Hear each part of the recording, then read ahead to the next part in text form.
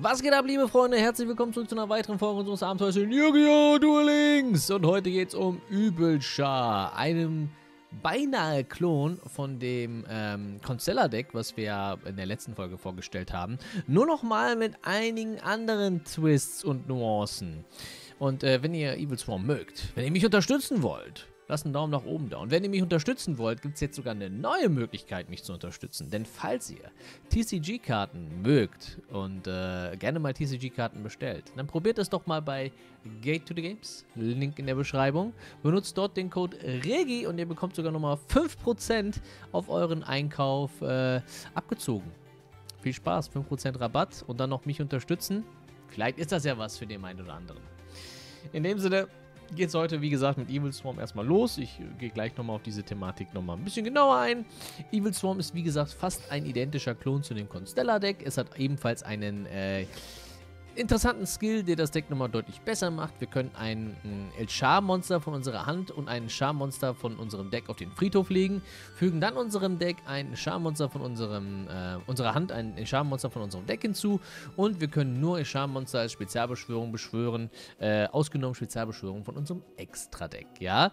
Äh, sehr einfacher Effekt, nochmal minimal anders als der Constellar-Effekt, aber auch ein Effekt, der halt äh, zu diesem Archetype ganz gut passt. Wir haben Übelscher Castor, der äh, Klon ist zu Pollux, glaube ich. Äh, Pollux hieß er, glaube ich. Ne? Müsste Pollux gewesen sein. Äh, wenn wir nämlich Übelschar Castor normal beschwören, können wir in dieser Runde ein weiteres Übelschar äh, Monster normal beschwören. Als zusätzliche Normalbeschwörung. Wir haben äh, Kerkeon, der ähm, ähnlich zu Cerberus ist, glaube ich, oder Kerberos. Ähm, hat den ersten Effekt, der halt nicht relevant ist in dem Deck. Äh, der zweite Effekt ist der relevante Teil. Wir können nämlich einen Charmmonster von unserem Friedhof verbannen und dann ein weiteres Charmmonster von unserem Friedhof wählen. Wir fügen das äh, zweite Monster unserer Hand hinzu.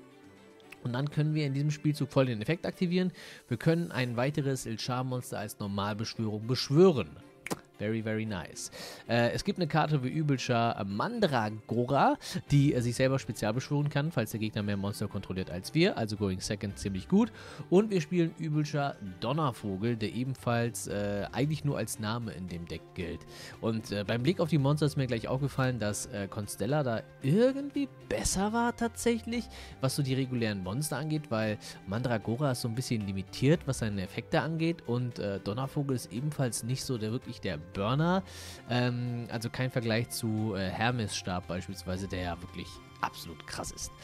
Ähm, ja, dafür haben wir Zugriff in diesem Deck auf äh, die Karte Befallpandemie. Alle offenen El Char-Monster, die wir derzeit kontrollieren, bleiben in diesem Spielzug von Zauber- und Fallenkarten unberührt. Und das heißt in diesem Deck, dass wir beispielsweise Schwarzes Loch aktivieren können, ohne dass unsere ganzen Monster dadurch zerstört werden. Wir aktivieren also Schwarzes Loch, chainen äh, Befallpandemie an und gucken, was der Gegner dann macht.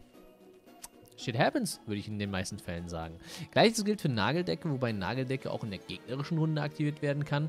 Zwar nur alle offenen Monster betrifft, aber trotzdem ebenfalls mit Befallpandemie so ein bisschen kombiniert werden kann. Und äh, damit wir natürlich ja das Match gegen Constella auch gewinnen, spielen wir auch nochmal Lichteinsperrender Spiegel in diesem Deck, der alle Effekte von Lichtmonstern annulliert, äh, sowohl im Friedhof als auch ähm, auf dem Spielfeld, wie gesagt ziemlich, ziemlich nice.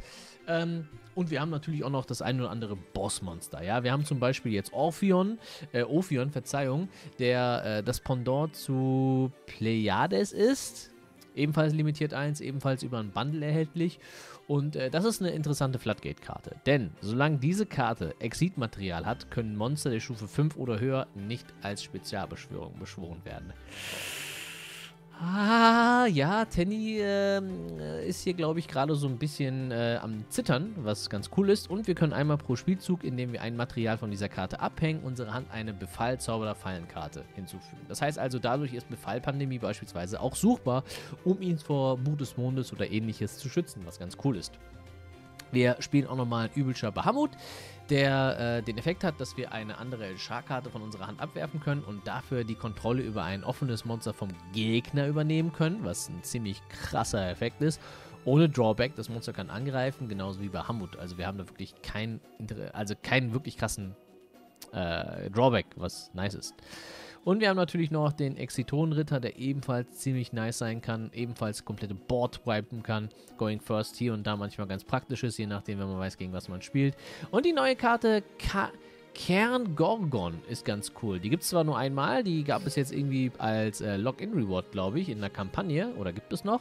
Ähm, wenn der Gegner äh, genau eine Karte auf dem Spielfeld als Ziel wählt, können wir ein Material von ihm abhängen, um ein neues Ziel, was in Frage kommen würde, zu bestimmen. Ist hier und da auch nochmal ganz praktisch. Und ähm, ja, ohne groß drum rumzulabern, starten wir doch einfach mal, äh, zocken ein paar Runden und ich bin gespannt, wie das Deck sich spielen lässt. Also die erste Vermutung von mir war, als ich die Monster gesehen habe und auch die äh, eingereichten Listen beispielsweise auf Duel Links Meta, was ich ja oft als, ähm, was sagt eigentlich die Tierlist aktuell?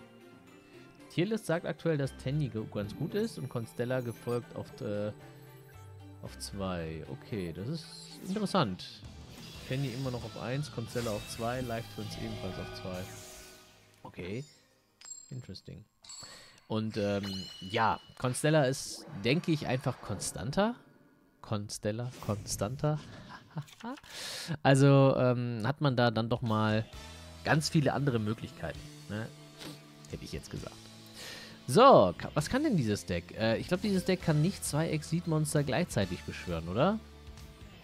Ich glaube nicht, dass dieses Deck zwei Exit-Monster gleichzeitig beschwören kann, Leute. Ich bin mir da sogar relativ sicher. Anyways, aktivieren wir doch mal Schaunion. Ähm, wir schicken auf den Friedhof äh, Castor. Und äh, meinetwegen den Donnervogel. Und nehmen dann auf unsere Hand Mandragora? Nee. Castor für die kommende Runde, I guess. Na, wobei Kerkion für die kommende Runde wahrscheinlich besser gewesen wäre. Egal. Dann können wir nämlich Kerkion beschwören. Wir aktivieren den Effekt von Kerkion. Wir, ähm... Wait a minute. Ja, Kerkion wäre besser gewesen. Egal. Wir, ähm, verbannen Donnervogel. Nehmen Castor dann stattdessen auf die Hand. Dann kann ich den Effekt von Kerkion nochmal aktivieren. Ich kriege eine zusätzliche Normalbeschwörung für ein Charmonster. Kann es also direkt nach, dem, nach der Effekt Resolution aktivieren. Und jetzt könnte ich noch einen Castor beschwören, aber lassen wir bleiben. Ja, ihr seht, äh, man hat nicht so viele ähm, Float-Optionen, wie zum Beispiel Constella es hat. Das ist dann in dem Fall zum Beispiel deutlich besser bei Constella. So, wir gehen auf Ophion. Weil ich glaube, Ophion ist eigentlich immer unser Pepega Turn 1 Play, den wir wollen. Hätte ich jetzt gesagt. Dann können wir äh, Kerkion einmal abschmeißen und uns eine äh, Befallpandemie auf die Hand nehmen. Wir setzen Befallpandemie, wir setzen Befallpandemie ein weiteres Mal und geben dann unseren Zug ab. Rein theoretisch hätte ich den Skill gar nicht nutzen brauchen. Aber ich, doch, hätte ich. Aber ich hätte mir wahrscheinlich dann eher Kerkion suchen müssen statt Castor. Ja, ja, das wäre wär besser gewesen. Anyways, hinterher ist man immer schlauer. Was ist das? Gunkan äh, Sushi. Okay, ist das... Okay, okay. Jetzt äh, bin ich gespannt. Das Gukan-Deck. Das äh, hat teilweise Monster der Stufe 5. Teilweise. Es hat aber auch Monster der Stufe 4. Deswegen mal abwarten, was jetzt hier so passieren kann. Kann halt nichts spezial beschwören, was Stufe 5 ist. Was schon mal ganz nice ist. Auf jeden Fall, Leute, ja, Openings. Ich habe gestern meinen neuen Sponsor revealed on Stream. Und zwar Gate to the Games. Falls ihr mich also in Zukunft unterstützen wollt mit äh, Real-Life-Karteneinkäufen, könnt ihr das wunderbar machen, indem ihr äh, einfach den Code REGI, wie gesagt, nutzt. Bei euren Einkäufen gibt nochmal ein bisschen Rabatt. Reicht eventuell auch einfach, wenn ihr nur auf den Link klickt, ja. In der Beschreibung. GG ganz nebenbei.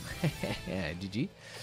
Und ähm, aktuell plane ich, ich habe da ein paar coole Sachen zugeschickt bekommen, unter anderem von Gate to the Games, teilweise auch direkt von Konami. Und ich plane, wie gesagt, ein paar Opening-Videos zu machen jetzt erstmal. Ne? Wir gucken mal, wie das ankommt. Also Yu-Gi-Oh! im äh, TCG. Ne? Opening-Videos. Wollte ich nur mal angemerkt haben. Ja, hier sind teilweise ein paar Stufe 5 Karten. Die meisten sind aber Vierer gewesen, aber ist gut zu wissen. Und äh, ja, ich äh, bin sehr gespannt, wie es ankommen wird. Ich plane aktuell, dass ich die Openings live auf Twitch mache. Dann aber äh, diese Openings jeweils als Highlight auch nochmal auf YouTube hochlade. Für die Leute, die halt nicht immer in den Streams dabei sein können, wollen, was auch immer. dass man da auf beiden Plattformen dann so ein bisschen was davon hat. Und äh, wie bereits erwähnt, ihr würdet mich tierisch unterstützen, wenn ihr über den Link da in Zukunft. Es müssen ja keine Yu-Gi-Oh! Karten sein, es kann ja alles andere sein. Die bieten ja auch äh, viel anderen Stuff an. Wenn ihr mich da einfach unterstützen würdet, ja, würde mich äh, auf jeden Fall tierisch freuen. In dem Sinne äh, freue ich mich drauf, ne? In dem Sinne freue ich mich da schon sehr drauf. So, wait. Aus dem Tal der Flammen erheben. Hm. Ja, das ist äh, Salomon Great. Da muss ich, glaube ich, anders vorgehen. Wobei wir die Nageldecke haben, die aber nicht so viel bringt. Hm. Pass auf, dann nehmen wir Kerkeon auf die Hand. Hm. Es könnte auch was anderes gehen, aber da habe ich keine Möglichkeit, mich vor Buch des Mondes oder so zu schützen.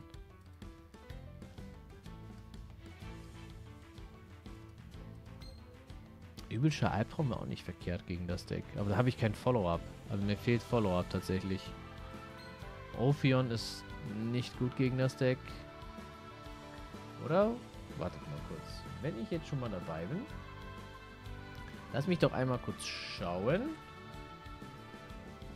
Aber ich meine, das Deck spielt tatsächlich doch nur 4 Sterne Monster. Ja, ja. Spielt nur 4 Sterne Monster. Und halt Linkkarten.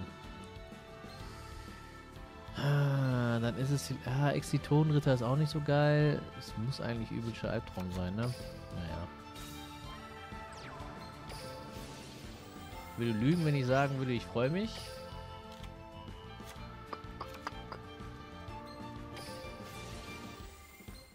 Ophion bringt dir halt absolut nichts. Das ist übelscher Albtraum.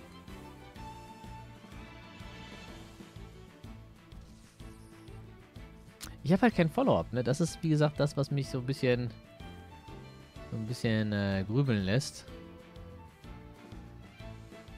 Exitonritter ist halt mit zweimal Nageldecke nicht so schön. Da muss es eigentlich Albtraum sein. Übelscher Albtraum. Auch wenn ich, wie gesagt, kein Follow-up habe. Dann muss ich einfach hoffen, dass ich noch einen Kerkion oder so gleich ziehe. Ja. Anders geht's nicht. Anders geht's nicht. So. Hab mir jetzt ein bisschen extra viel Zeit gelassen. Sorry dafür, aber anders geht's nicht. Ja, gegen das Deck sind wir dann natürlich mit unserem Bossmonster ein klein wenig aufgeschmissen. So, Federvieh.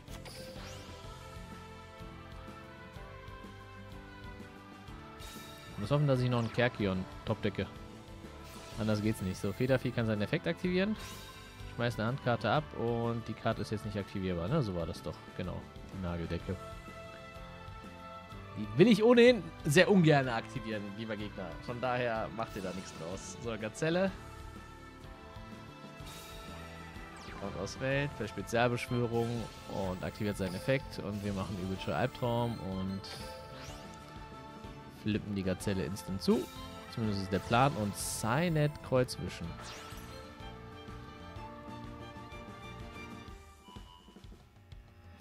Okay.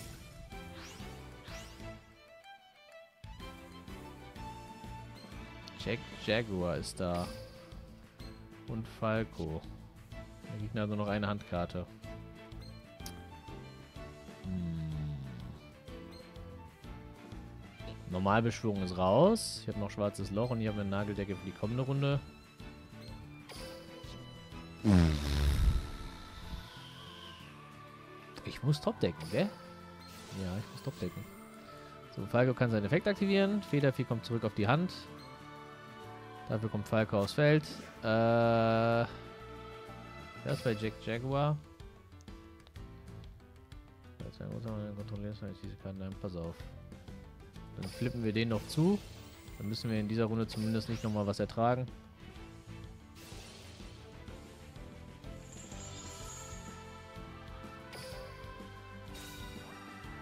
Ist das kein Once per Turn? Ist das kein Once per Turn von Federvieh? Oh no! Oh no! Ich dachte, das ist ein Once per Turn. Ach, das war mir nicht klar, Leute. Hey, das war mir nicht klar. Dann hätte ich das hier eigentlich nicht machen dürfen. Hm. Ah, schade. Dann werden wir jetzt hier einige Probleme haben. Ja. Dann werden wir einige Probleme haben, was die Ressourcen angeht. Äh Gibt es nicht so, ein, so eine Spielkarte für solche Decks? Wahrscheinlich nicht. Kann halt noch Jack Jaguar raushauen, ne? Kannst du was in der Runde in deinem Friedhof wählen, mich ins Deck zurück. Ja, ja, und dafür kommt Jack Jack. Wait a minute. Schwarzes Loch. Ah, nee. Der kleine Signallux geht ja gleich wieder ins Grave. Der geht ja gleich wieder ins Grave, genau. Sunlight Wolf. We hate this deck. Ah, wait, aber er kann nichts machen. Oh, wenn das mal kein Top-Cack ist. Wenn das mal kein Top-Cack ist. Schauen wir mal.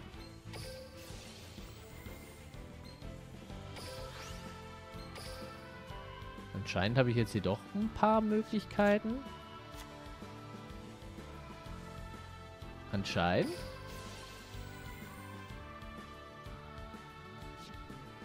Gucken wir mal. Gerkion nochmal.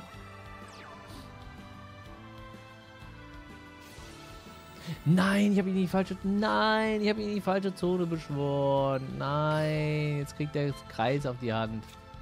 Hey, wait, Federvieh. Ach, Ragor. Was soll das denn? Was soll das denn, Ragor? Lass die Missplays sein.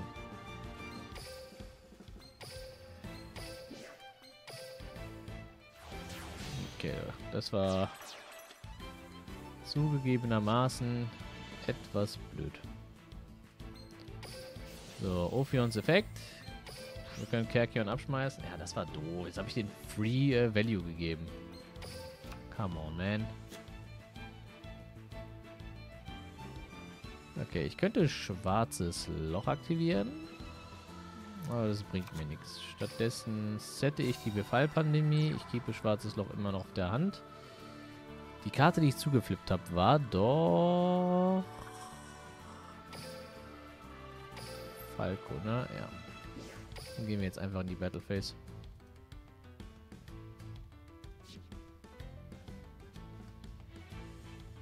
Signallux wird wahrscheinlich jetzt seinen Effekt aus dem Grave aktivieren. Aber das bedeutet im Umkehrschluss, dass meine Nageldecke gleich ordentlich reinklotzen kann. Okay, lassen wir den Gegner einfach machen. Er hat nochmal einen Circle auf der Hand, kann sich jetzt also nochmal irgendwas holen. Gazelle theoretisch, ne? Ne, wait, Gazelle hat er sich nicht reingemischt. Aber wir, wir, wir warten ab, Leute. Wir warten ab. Mehr holt er sich. Okay. Dann gucken wir, dass wir den Gegner gleich eine ordentliche Nageldecke geben. Das ist der Plan. Wir gucken, dass wir den Gegner eine ordentliche Nageldecke geben. Into Befallpandemie. Aber wir müssen aufpassen. Wir müssen aufpassen. Am besten... Ja, wir warten einmal ab. Wir warten einmal ab. Das könnte knifflig werden. Das wird knifflig. Aber wir warten ab. Jetzt ist das alles Timing-Sache. Und natürlich auch Missplay-Sache. Wir müssen hoffen, dass der Gegner so ein bisschen... Okay, das ist schon mal gut, dass der Falco auflippt. Er muss die Normal Summon raushaben. Er muss die Normal Summon rausbekommen.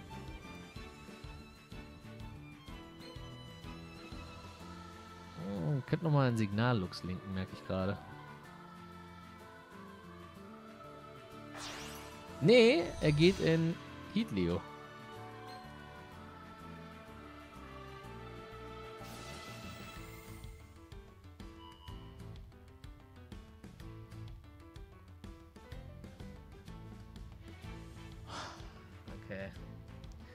glaube, da komme ich nicht drum rum.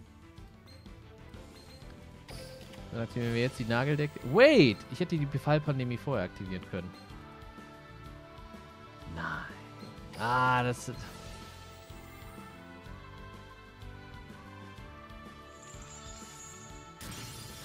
Ah, das hätte nicht sein müssen.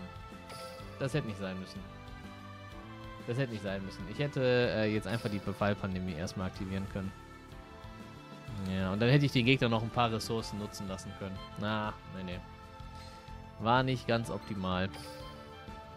Nee, nee. Weil jetzt hat er noch seine Normalbeschwörung. Er hat Federvieh auf der Hand. Na, wir wissen, dass er Federvieh auf der Hand hat. Er hat noch Falco. Er hat noch Jack Jaguar. Also da kann noch ein bisschen was kommen.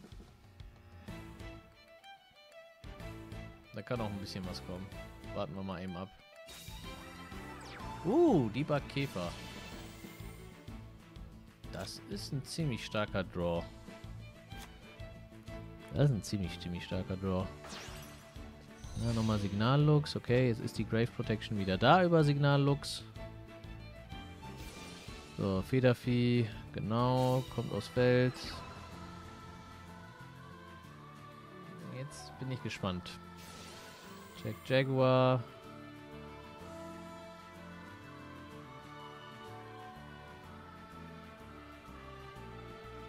Und er hat halt immer noch Falco.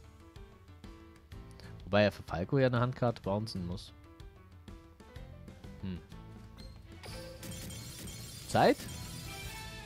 Zeitbeschränkungssieg. okay. Also, ist, da, das fühlt sich jetzt nicht ganz verdient an, aber das ist zum Beispiel jetzt ein Matchup gewesen. Da kannst du den Gegner halt nicht stumpf floodgaten, weil. Ja, wir sind halt in Zeiten, Leute, da gibt es Linkkarten. Linkkarten haben keine Stufe. Das heißt, man kann die jetzt nicht so wunderbar äh, rauslocken. Aber ja, dann ist das so. Dann ist das so. Dann ist das so. Ja, ich glaube, wir haben das trotzdem ganz okay gemacht. Und wir haben natürlich auch noch das, das Herz der Karten in unserer Hand gehabt. Ja, das Herz der Karten. Alright.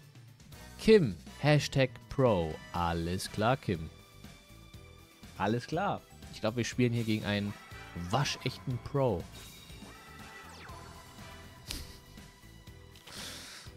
Ja, Leute. Merk, äh, ich glaube, der, der Kim, der merkt das selber. Keine Sorge, das müssen wir ihm nicht sagen. Anyways. Äh, Mandragora können wir abschmeißen. Kerkion auf die Hand. Genau, Kerkion auf die Hand. Und dann machen wir das wie folgt. Wir droppen erst den Castor. Damit sein Effekt schon mal live ist. Gucken wir mal, ob der Gegner irgendwie interrupted oder so. Nein. Dann droppen wir Kerkion. Gucken wir mal, ob der Gegner jetzt was macht. Immer noch nicht. Okay. Dann aktivieren wir den Effekt von Kerkion. Wir... Wait, doch. Ich krieg immer noch auch mit dem Deck zwei Exit-Monster aufs Feld, merke ich gerade. Wait, das ist ja kein Once per Turn, ne, von ihm. Doch, es ist nur ein Monster Return. Ah. Okay, dann habe ich nichts gesagt. Der ist ein Once per Turn. Schade.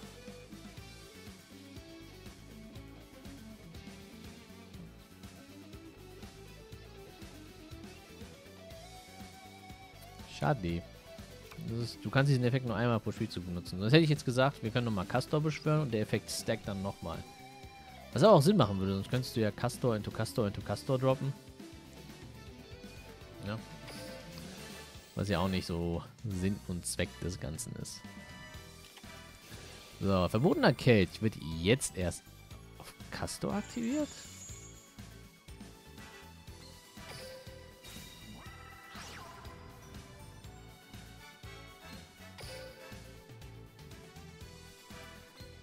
Ich drücke es mal freundlich aus. Oh.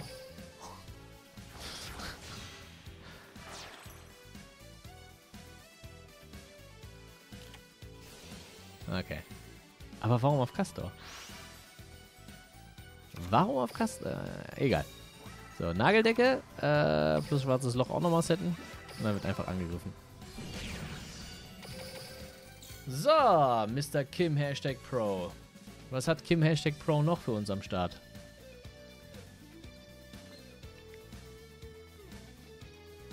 Na, schade. Ich merke gerade, dass ich den Donnervogel eigentlich auf dem Feld hätte lassen sollen. Bei ihn hätte ich ja theoretisch noch schützen können. Hm, ihn hätte ich theoretisch noch schützen können.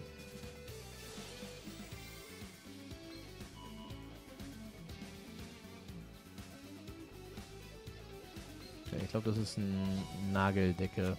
Ein Fall für Nageldecke, denke ich.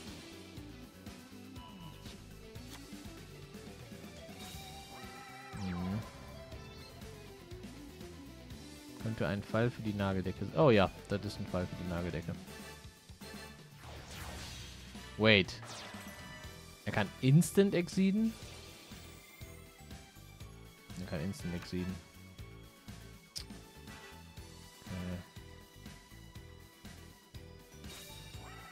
Jetzt aber. Nageldecke.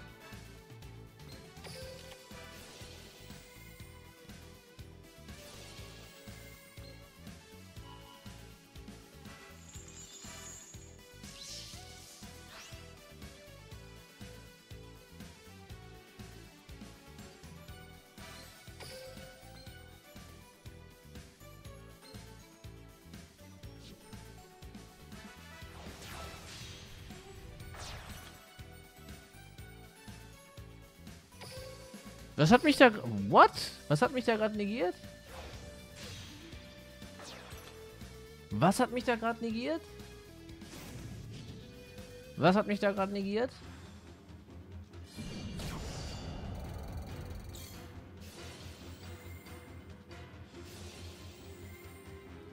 Zu viel Text, Leute. Ich weiß nicht, was mich negiert hat. Was, was, hat, was hat mich da gerade negiert? Die Karte hält die Welle direkt anzugreifen. Du kannst einfach, wenn der Gegner unter ein bisschen Anzahl Hunger. Annulliere Effekte. Ach so, einmal pro Spielzug während der Main Phase oder der Battle Phase deines Gegners. Ah. Während deiner Main. Okay. Das Ding hat ein Negate gehabt. Das äh, war mir eigentlich gar nicht klar. Schade. Schade. Das war mir eigentlich gar nicht so wirklich klar. Gutes Sunken-Schiff. Sushi, Sushi, Sushi. Ziemlich OP, teilweise. Ziemlich OP. Anyways, Leute, vielen lieben Dank fürs Zugucken. Wenn es euch gefallen hat, lasst einen Daumen nach oben da. Wir sehen uns zum nächsten Mal wieder. Und bis dahin, wieder schon reingehauen. Macht's gut und ciao. Euer Regi. Daumen nach oben nicht vergessen.